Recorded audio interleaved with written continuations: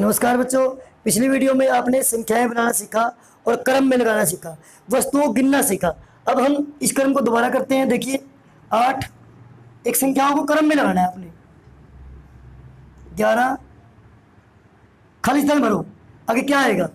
पूरी करो। आठ के बाद ग्यारह, यानी कि नौ, दस छोड़ दिया, ग्यारह आ गया। अब आपने क्या करना है?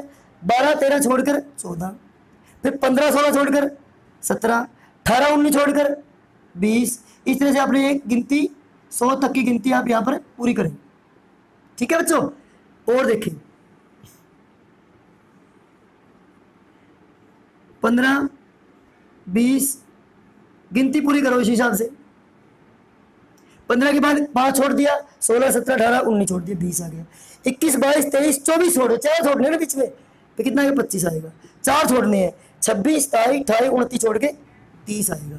फिर इसी प्रकार से आप ये तालिका पूरी करें। चलो अब बड़ी छोटी संख्या सीख चुके हैं आप। जैसे देखो हमारे पास तीन, सात, सैंतीस और तिहत्तर। कौन सी बड़ी है? ये तो मैं बता चुका हूँ आपको, तिहत्तर बड़ी है और सैंतीस छोटी है। तो इस प्रकार से पहले बड़ी संख्या लगाई, फिर छोटी संख्या लगाई। क्या कहते हैं इस क्रम को? पहले बड़ी, फिर छोटी। पहले बड़ी, फिर छोटी। तो पहले बड़ी नीचे उतरेंगे ना? ये हो गया उतरता क्रम हमारा। क्या हुआ ये? उतरता क्रम। यानी कि घटता क्रम जैसे आपके तीन संख्या दे रखी है, बारह बारह, पंद्रह और सत्ताईस। इसको अपने घटते क्रम में लगाना है। घटते क्रम। कैसे लगाएँगे? पहले सबसे बड़ी लिखेंगे। सबसे बड़ी कौन सी है? देखो, ये इसमें एक बंडल एक बंडल, दो बंडल। दो बंडल वाली ये बड़ी है सबसे। सबसे पहले ये आएगी।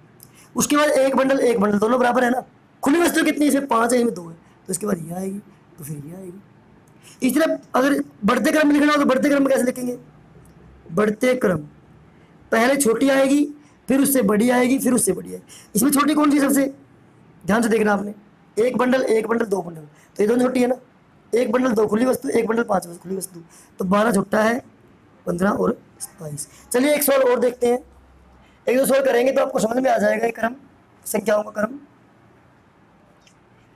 तीस, बीस, चालीस। घटता क्रम। घटता क्रम का मतलब ऐसे घट रहा है, नीचे घटना है, नीचे की तरफ़ आना है। बढ़ता क्रम, ऊपर की तरफ़ बढ़ना है ऐसे। घटता तो नीचे आना है, ऐसे। बढ़ना है ऊपर की तरफ़, ऐसे। ये बढ़ना और ये घटना। तो बढ़ना क्रम, घटता क्रम लिखना पहले आपने बड़ी आएगी। तीन बंडल, दो बंडल, चार बंडल। तो पहले चार बंडल आएगा।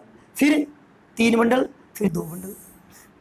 अगर इसी को हम बढ़ते क्रम में लिखें तो कैसे आएगा?